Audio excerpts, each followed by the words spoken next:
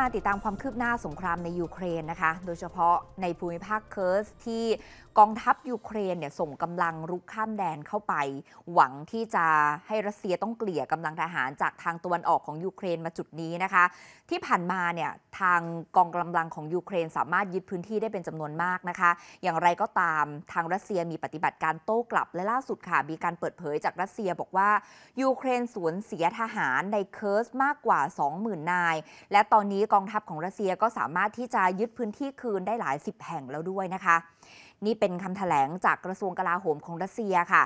ระบุว่าตั้งแต่การสู้รบในภูมิภาคเคิร์สก์ทางตะวันตกของประเทศ เริ่มต้นขึ้นในวันที่ 6 สิงหาคม กองทัพยูเครน สูญเสียทหารไปไม่น้อยกว่า 2,800นาย พร้อมกับรถถังกว่า 130 คัน ยานยนต์ต่อสู้ 66 คัน และยานยนต์ลำเลียงพลแบบหุ้มเกราะอีกเกือบ 100 คัน โดยตลอด 24 ชั่วโมงที่ผ่านมากองทัพยูเครนสามารถสังหารทหารยูเครน กองทัพรัสเซียนะคะสามารถสังหารทหารยูเครนในภูมิภาคเคิร์สก์ได้อีกกว่า 200 นาย ป้องกันการโต้กลับจากทหารยูเครนที่ยังหลงเหลืออยู่ได้ 4 ครั้ง และสกัดความพยายาม รุกเข้าไปสู่ดินแดนรัสเซียได้ถึง 2 ครั้ง นอกจากนี้กระทรวงกลาโหมรัสเซียยังเปิดเผยว่า กองทัพสามารถยึดคืนเขตชุมชน แล้วก็หมู่บ้านในภูมิภาคนี้ได้อีกหลายสิบแห่งค่ะ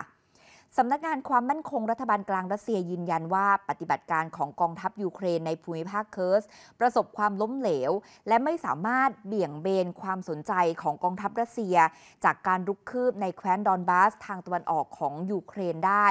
โดยกองทัพรัสเซียก็ยังสามารถยึดพื้นที่ตรงนั้นได้เพิ่มเติมอย่างต่อเนื่องนะคะ สำหรับจุดประสงค์หลักของกองทัพยูเครน ในปฏิบัติการที่เคิร์สก์ก็คือ พยายามสร้างแรงกดดันให้รัฐบาลรัสเซีย หันมาเจรจาด้วยเงื่อนไขตามที่ยูเครนพยายามผลักดัน ซึ่งแม้รัสเซียยืนยันว่าไม่เคยปิดโอกาสสำหรับการพูดคุย แต่ว่ารัสเซียบอกว่าจุดยืนของเขาก็คือจะเจรจาต่อเมื่อยูเครนยอมถอนกำลังทหารออกไปจากดินแดนของรัสเซียแล้วเท่านั้นค่ะ